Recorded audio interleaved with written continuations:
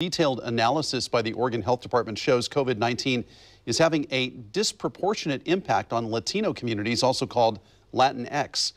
Fox 12 Simon Gutierrez reports from Northeast Portland with a closer look at why this might be.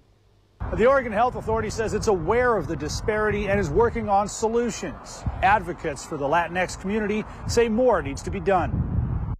According to the Oregon Health Authority's most recent weekly report, people who identify as Hispanic made up more than 18% of the total COVID 19 cases in the state, even though members of the Latinx community represent only about 13% of the state's population. That number could potentially be higher because in hundreds of other cases, the patient's cultural background is unknown. Latino Network Advocacy Director Ricardo Lujan says the difference in cases doesn't come as a surprise, since many in the Latinx community are considered essential workers, and some of their jobs, like farm work, make social distancing difficult.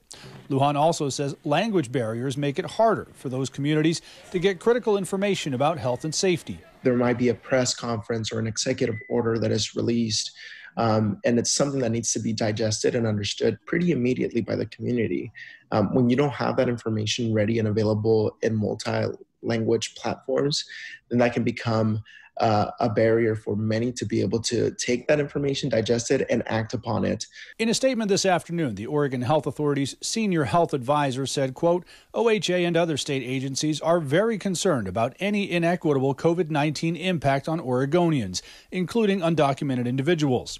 She goes on to say, quote, robust outreach actions to date focus on the Latinx Hispanic community and similar efforts focus on other vulnerable groups. The health authority also says it is translating all of its guidance into Spanish, including its Facebook posts. The agency is also contracting with someone to produce Spanish language videos. Reporting in Northeast Portland, Simon Gutierrez, Fox 12 Oregon.